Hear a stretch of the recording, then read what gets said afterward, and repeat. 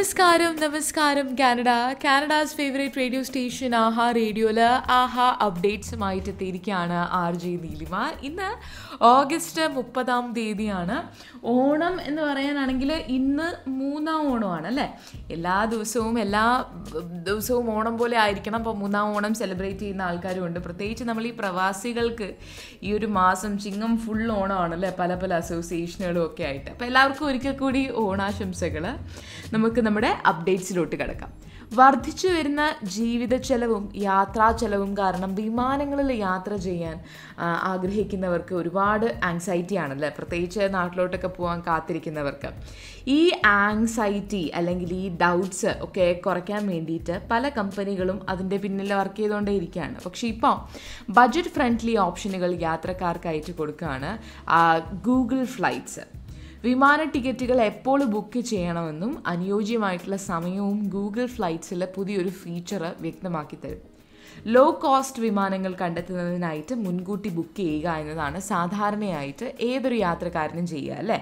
പക്ഷേ ഇപ്പോൾ ബുക്ക് ചെയ്യുന്നതാണോ? അതോ കുറഞ്ഞ നിരക്ക് വരുമ്പോൾ ബുക്ക് ചെയ്യുന്നതാണോ ഉചിതം എന്നുള്ള ചോദ്യം അവിടെയും വരും. അപ്പോൾ ഇതിന് ഉത്തരം തരുന്നതാണ് പുതിയൊരു ഫീച്ചർ ഫ്ലൈറ്റുകൾക്കായിട്ട് തിരയുമ്പോൾ തീയതികളും ലക്ഷ്യസ്ഥാനങ്ങളും അടിസ്ഥാനമാക്കിയിട്ടുള്ള നിരക്കുകൾ സാധാരണയായി എപ്പോഴാണ് എന്നുള്ള സൈറ്റ് കാണിക്കും അല്ലേ? ഇതൊരു രണ്ട് മാസം മുമ്പേ കുറവാണോ? അടുത്തുള്ള സമയങ്ങളിലാണോ കുറവ് എന്നൊക്കെയുള്ളത് ഈ ഒരു ഫീച്ചർ നമുക്ക് കാണിക്കും എന്നാണ് പറയുന്നത്. എനിക്ക് തോന്നുന്നു ഈ വിദേശത്ത് വർക്ക് ചെയ്യുന്നവർക്കൊക്കെ ഉള്ള ഒരു ബെസ്റ്റ് ഓപ്ഷനാണ് ഗൂഗിൾ തന്നിരിക്കുന്നത്. കാരണം എപ്പോൾ ഈ ഫ്ലൈറ്റിന്റെ പൈസ കുറയും അപ്പോൾ ടിക്കറ്റ് ബുക്ക് ചെയ്യാൻ കാത്തിരിക്കുന്ന നമ്മളെപ്പോലുള്ള ആൾക്കാർക്ക് ഇത് തന്നെയാണ് തക്കം.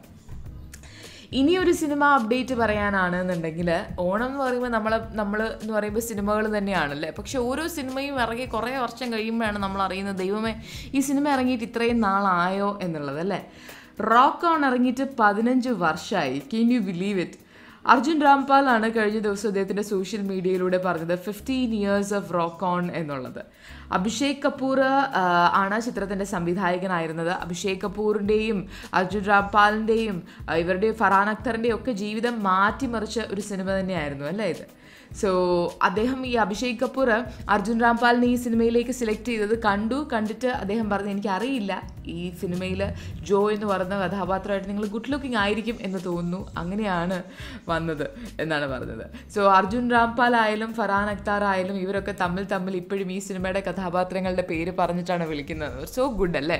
ഈ റോക്കോണും അതുപോലെ ദിൽചാത്താഹയും ഒക്കെ നമ്മുടെയൊക്കെ ചെറുപ്പകാലങ്ങൾ യുനോ ബിൽഡ് ചെയ്ത സിനിമകളാണ്. അപ്പോൾ എപ്പോഴും നമുക്കൊക്കെ നൊസ്റ്റാൾജി തരുന്ന സിനിമകൾ തന്നെയാണ്. അങ്ങനെ റോക്കോൺ ഇറങ്ങിയിട്ട് വർഷം ഡേ പതിനഞ്ച് കഴിഞ്ഞു. അത് പറഞ്ഞപ്പോഴാണ് മലയാള സിനിമയുടെ രണ്ടാം ഭാഗം വരാൻ പോവുകയാണ്. അനൂപ് മേനോന്റെ തിരക്കഥയിൽ വി കെ പ്രകാശ് സംവിധാനം ചെയ്ത ജയസൂര്യ നായകനായി അഭിനയിച്ച ഒരു നല്ല മനോഹരമായിട്ടുള്ള ഒരു ബ്യൂട്ടിഫുൾ മൂവിയായിരുന്നു ബ്യൂട്ടിഫുൾ അല്ലേ? ഈ ചിത്രത്തിന്റെ സെക്കൻഡ് പാർട്ട് ഒരുങ്ങുകയാണ്. ബ്യൂട്ടിഫുൾ ടു എന്നാണ് ഈ സിനിമയുടെ പേര്. വി കെ പ്രകാശ് തന്നെയാണ് സംവിധാനം ചെയ്യുന്നത്. അനൂപ് മേനോൻ തന്നെയാണ് ഇതിന്റെ തിരക്കഥ. പക്ഷേ ജയസൂര്യ ഈ ചിത്രത്തിൽ ഇല്ലായിരിക്കും.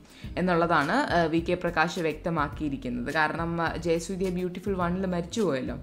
ബ്യൂട്ടിഫുൾ കഴിഞ്ഞ ഉടൻ തന്നെ അനൂപ് മേനോനും വി കെ പ്രകാശും കൂടി ഈ സിനിമയുടെ സെക്കൻഡ് പാർട്ടിൽ വർക്ക് ചെയ്തിരുന്നു. പക്ഷേ കുറച്ച് നേരം കുറച്ച് ഒരു ഗ്യാപ്പ് എടുത്തിട്ട് ചെയ്യാമെന്ന് വിചാരിച്ചിട്ടാണ് ഇതുവരെ വെയിറ്റ് ചെയ്തതെന്നാണ് വി കെ പി പറഞ്ഞത്. ബ്യൂട്ടിഫുൾ എനിക്ക് ഇഷ്ടമുള്ളൊരു സിനിമയാണ്. കാണാൻ നല്ലൊരു ഫീൽ ഒരു സിനിമയാണ്. അപ്പോൾ കാത്തിരിക്കാം അതിന്റെ സെക്കൻഡ് പാർട്ടിന് വേണ്ടിയിട്ട്.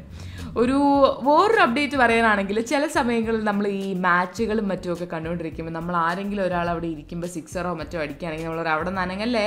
നല്ല ലക്കാണ് അവിടെ തന്നെ ഇരുന്നോണേ എന്നൊക്കെ നമ്മൾ പറയുമല്ലോ അങ്ങനെയൊക്കെയുള്ള ഓരോരോ രസകരമായിട്ടുള്ള വിശ്വാസങ്ങളൊക്കെ ഉണ്ട്. അപ്പോൾ ഇതുപോലെ ഏഷ്യ കപ്പ് രണ്ടായിരത്തി ഇരുപത്തിരണ്ടിന്റെ മാച്ച് ഇന്ത്യ വേഴ്സസ് പാകിസ്ഥാനായിരുന്നു. ദുബായ് ഇന്റർനാഷണൽ ക്രിക്കറ്റ് സ്റ്റേഡിയത്തിൽ വെച്ചിട്ടായിരുന്നു. സോ വിജയ് ദേവരെ കൊണ്ട് പറഞ്ഞത് വെന്യൂവിൽ പോയിട്ട് ഞാൻ ക്രിക്കറ്റ് കാണുമായിരുന്നു. യുനോ ഇത്തരത്തിലുള്ള ഞാൻ വെന്യൂവിൽ പോയിട്ട് ക്രിക്കറ്റ് കാണുന്ന മാച്ചുകളിൽ ഒന്നും ഇന്ത്യ തോറ്റിട്ടില്ല എന്നാണ് പുള്ളി പറഞ്ഞത്. പുള്ളി ഈ പറയുന്ന പോലെ നമ്മളെപ്പോലുള്ള ഒരു വിശ്വാസം പറഞ്ഞാണ് ചിലപ്പോൾ അതാണ് പുള്ളിയുടെ വിശ്വാസം. നമ്മൾ ആരെങ്കിലുമൊക്കെ ആ സോഫയിൽ ആ കസേര ഇരുന്നാൽ സിക്സ് അടിക്കും ഫോർ അടിക്കും എന്നൊക്കെ പറയുന്ന പോലെ അല്ലേ? കൊള്ളാം മിസ്റ്റർ ദേവരെ കൊണ്ടാ. എന്തായാലും നമുക്ക് ഇന്ത്യ ജയിക്കുന്നതുകൊണ്ട് ലാഭമേ ഉള്ളൂ. എന്തായാലും എല്ലാവർക്കും ഒരു നല്ല മൂന്നാം ഓണം ആശംസിക്കുകയാണ്. കൂടുതൽ വാർത്തകൾക്കും വിശേഷങ്ങൾക്കും എന്റെ കാനഡ ഡോട്ട് സി എ സന്ദർശിക്കാൻ മറക്കണ്ട. കാനഡാസ് ഫേവറേറ്റ് റേഡിയോ സ്റ്റേഷൻ ആഹർ റേഡിയോ നെഞ്ചിനുള്ളിൽ താളും.